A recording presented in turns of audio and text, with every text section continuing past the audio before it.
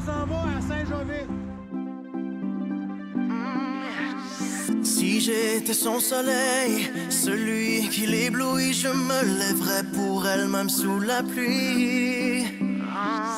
Je serais